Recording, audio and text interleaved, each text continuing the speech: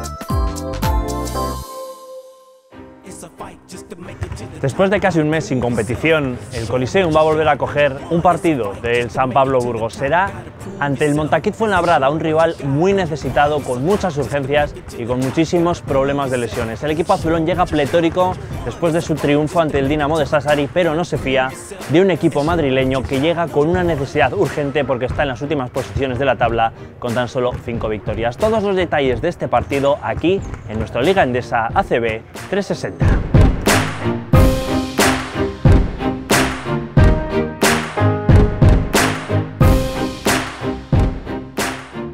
San Pablo ya cambia el chip. Después de seis días fuera de casa, el equipo se mide al Montaquit Fuenlabrada en Liga. Joan Peñarroya espera que el envite europeo ante Sassari del martes próximo no descentre a sus jugadores. Espero que no. Espero que no. Espero que, que lo único que nos importe es el partido de, de Fuenlabrada ante un rival muy necesitado, un rival que se juega mucho en el partido de mañana aquí y no lo van a demostrar desde el primer segundo. Para el técnico catalán ganar el partido es clave para seguir enganchados a la parte alta de la clasificación. Nosotros eh, pues estamos en una situación con esas 11 victorias en las cuales eh, si queremos seguir estando en esas posiciones que nos permitan eh, mirar hacia arriba, pues es una victoria que hay que conseguir. El Fuenla llega con una necesidad imperiosa de ganar. Solo tiene cinco victorias y está a dos triunfos de la permanencia, lo que les obliga a sacar adelante el encuentro. A pesar de su situación, son un rival peligroso por la calidad de la plantilla.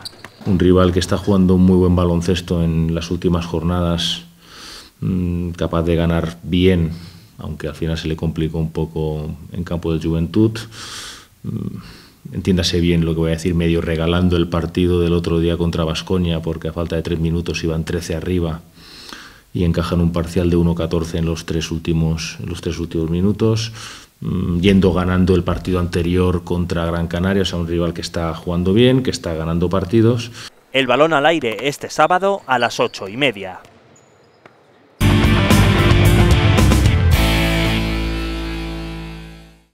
El triunfo en Sassari permitió a los jugadores de San Pablo restañar la herida de la dura derrota en Valencia. El hecho de saber aguantar el empuje de los italianos en la segunda mitad fue un factor determinante. Cuando se acercaron, evidentemente ellos tienen mucho mérito, pero yo creo que fueron errores nuestros y en cuanto supimos volver a la senda de lo que estábamos haciendo bien en la primera parte, pues pudimos tener coger esa ventaja para, para poder llegar al último minuto con, con, opciones o un poquito por delante, que fue lo que nos, lo que nos dio la victoria. Ahora la liga reclama su protagonismo. Llega el Montaquit Fuenlabrada, penúltimo clasificado. Tiene mucho talento individual, pero la irregularidad y unos tremendos problemas de lesiones han lastrado a los del sur de Madrid. Tienen mucho talento y dependen mucho a lo mejor de, del acierto, pero sí es cierto que no han llegado a tener tres semanas, como quien dice, el mismo equipo, ¿no? al completo. O sea, cuando nos ha lesionado Urtasun, se ha lesionado Rander, cuando nos ha lesionado Eyenga, que estuvo unos días fuera. O sea, nunca han tenido el equipo completo y yo creo que nunca han podido entrenar bien todos al 100%, ¿no? Entonces eso se nota en un equipo, sobre todo a este nivel, y, y bueno, eh, por eso al final tampoco han, han, estado con toda regularidad en la liga y por eso están ahí. El envite, como siempre, es especial para el capitán azulón Javi Vega. Aunque ya se considera medio burgalés, le duele ver al conjunto de su ciudad natal metido en el pozo. Yo al final estoy en la misma liga, evidentemente yo tengo que mirar mis intereses, ¿no? Yo casi, como digo, ya soy un burgalés, pero sí es cierto que, que bueno, a mí no, no, me gusta nada ¿no? que, el, equipo esté ahí y o preferiría otros, otros equipos ahí, ¿no? solo simplemente porque Fuenlabrada no estuviese ahí. Todos los jugadores, a excepción del lesionado de larga duración Goran Huskic, estarán disponibles para saltar a la cancha.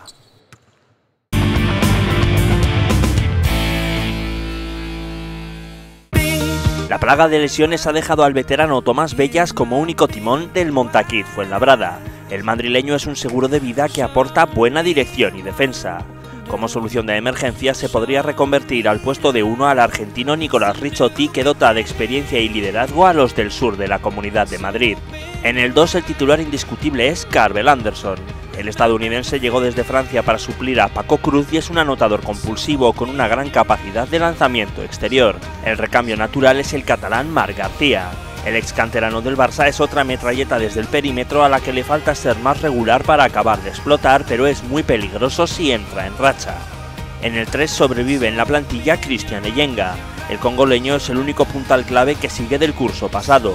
Pura potencia física, es un hombre con capacidades innatas para las jugadas espectaculares, aunque con un tiro de larga distancia muy mejorable. Llegado con la campaña arrancada desde el Limos francés, Anthony Brown completa esa posición. Tiene puntos en sus manos y suele prodigarse más en los lanzamientos desde más allá del arco que en los tiros de media distancia.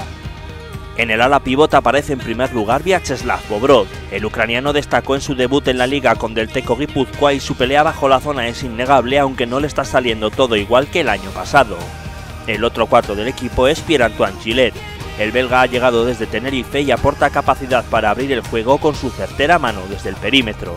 Para el 5 los fuenlabreños contrataron al lituano Edgar Asmokevichus. El Báltico llegó desde Italia con cartel de gran reboteador y buen finalizador en acciones de pick and roll, aunque no ha terminado de romper como se esperaba. El canterano e internacional español Los Ator es el hombre que cierra esa rotación interior. Aporta mucha intensidad y físico bajo tableros y está en continua progresión.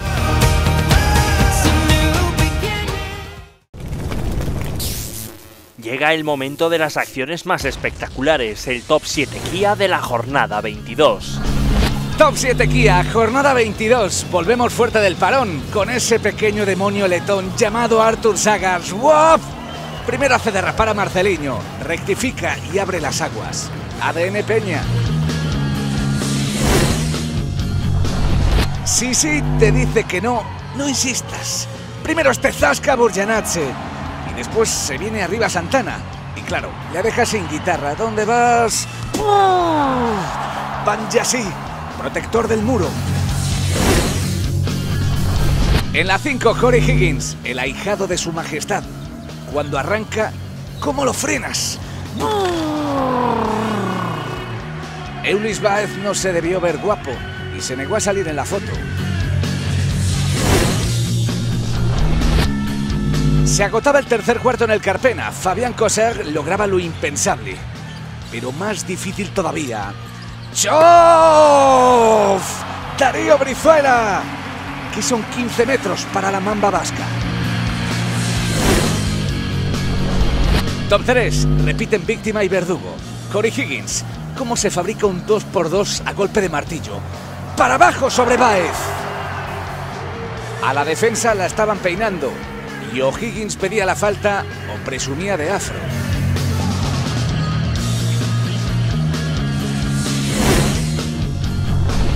En nuestra sección de clásicos populares, Nemanja Dangovic. Este tío juega en otra liga. ¡Qué dos más uno! Bensing, Jason Thompson, La Pilarica, ¡ayuda! Y la mejor jugada de este top 7 Kia es para Usman Garuba, con el tapón que valió un partido. Zasca, vaya gorro, que todavía es menor de edad.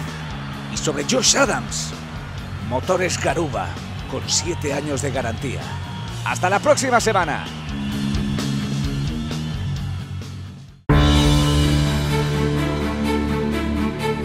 Por fin volvemos a casa. Hacía varias semanas que San Pablo no jugaba al calor de su público y lo hace en un momento espléndido, dando la campanada en Sassari para olvidar el tropiezo en Valencia. Toca medirse a Fuenlabrada a un rival herido, necesitado y mermado de efectivos, pero a su vez tremendamente peligroso. La entidad del oponente no importa, la marea azul y los jugadores de Peñarroya volverán a ser uno solo en el Coliseum.